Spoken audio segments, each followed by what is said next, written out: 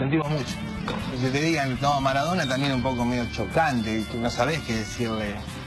La gente dice me tocó ganar varios títulos y, como te decía, como cambié un poco la paleta con los efectos, más todavía.